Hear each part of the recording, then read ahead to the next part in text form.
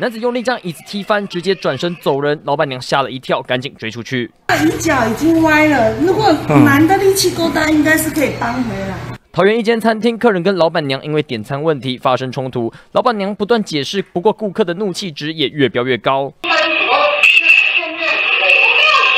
双方沟通无效，最后顾客受不了了，一把把钱收回，回到位置，拿完东西准备走人前，还气得用力摔椅子，宣泄不满情绪。顾客认为老板娘态度不好，讲话大小声才会发飙。不过老板娘说，是因为他们坐门口离柜台比较远，才会大声讲话。跟他们沟通。现在站的这么近的音量来说的话，坐在那边肯定百分百听不到。回来看监视器回放，听声音才知道我的讲话声音是真的。比较大声，顾客与老板娘都认为对方态度不好，原本可以好好沟通，最后却不欢而散。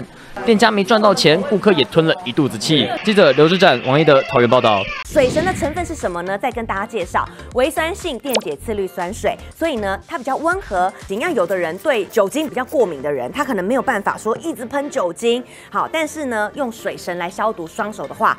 很安全，啊，那怎么买呢？欢迎大家上我们的快点购网站，好，就可以买到。